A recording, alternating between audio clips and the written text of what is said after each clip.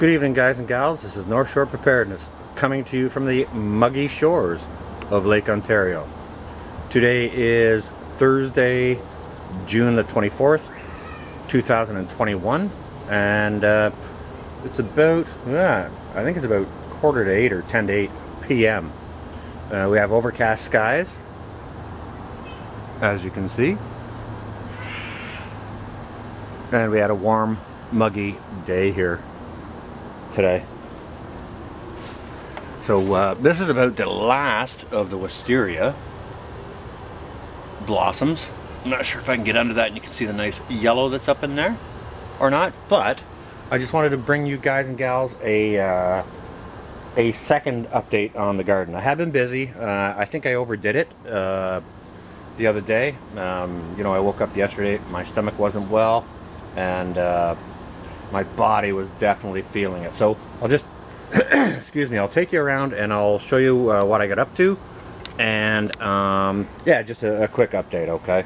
So uh, I have planted in across this uh, this pepper bed here. Yeah, I, I, do need to get in and take out a few weeds. Somebody tell me if that's a raspberry plant. Please and thank you. It just came up in here.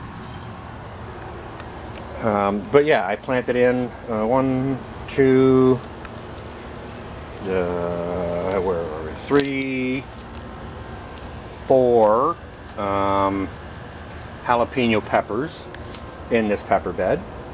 Um, also, this girl here, this medicine plant, excuse me, I uh, I put a stake in here, and as you can see, uh, I wired it in a little bit so that uh, it, it, would lay down and um, you know maybe uh, other things will shoot up. Now what I have a plan to do here, I'm not sure if I mentioned uh, already, but I'm going to take those stones and I'm going to move them back and I'm going to double the, uh, the Swiss chard in this bed. So I went ahead and did that.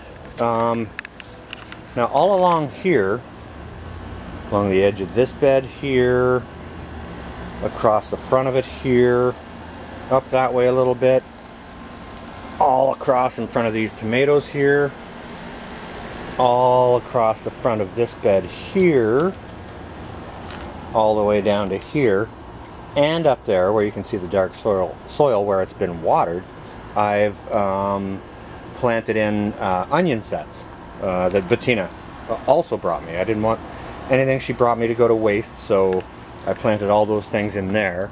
Um, obviously I got this area all cleared out. I got uh, my uh, rocket stove moved. I got the um, raised bed I'm going to use moved, which I'll show you in a minute. Excuse me, guys and gals. This bed over here, I got uh, a couple of cucumber plants planted in, and across the front of this bed, um, I had like uh, 10 more onion sets uh, left that I, uh, you know, the Bettina brought me. I, I didn't want to go to waste, so I put them in the front of that bed. Now along the rest of this bed, as you can see um, from the areas that are watered here, this is a 10 foot stretch, two rows more of potatoes uh, that are in the ground. You know, I had some seed potatoes left over uh, from last year that I didn't want to go to waste, so I planted them in here, and we'll see how they do. Like, this is a more shaded area, so we'll just see uh, how we make out with those. Uh, but that's kind of what I've been doing. Yeah, I still uh, still got a bit of junk here and there I need to pick up and clean up, but uh, it's just a bit of uh, a bit of garbage. You know, I'll throw that into a uh, a bag and I'll, I'll, put that out uh, to to get it out of there. But what I've also been up to is seeing as I had that rocket stove moved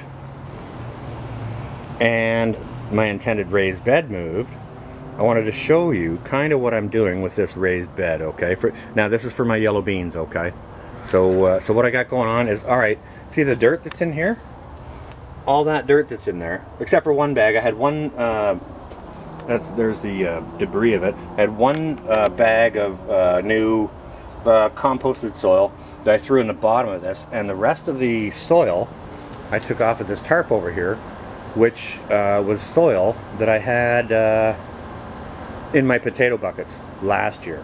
Okay, so I salvaged that soil. You can see I still have some left there. I'm to make some hanging baskets and some other things out of that. Um, but I wanted to talk to you guys a little bit about this bed here.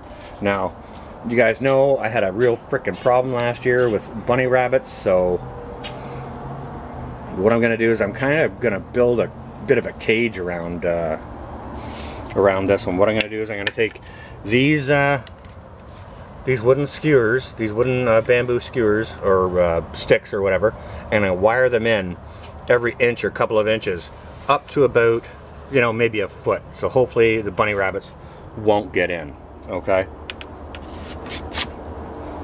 Um, and I'm just going to use, uh, you know, I'll use some of this uh, garden wire.